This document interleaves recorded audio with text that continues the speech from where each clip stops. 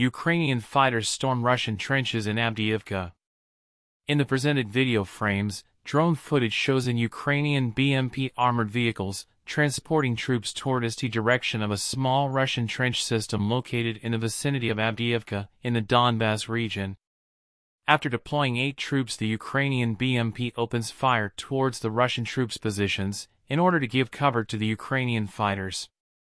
The Ukrainian soldiers storm the Russian troops inside their trenches, so the attack begins with Ukrainian troops throwing grenades on the Russian trenches, and then after they enter the trench. The Russian troops tried to respond but they were outgunned by the Ukrainian fighter, which totally clear out the Russian trench. This video was published by the Ukrainian forces on their official Telegram channel.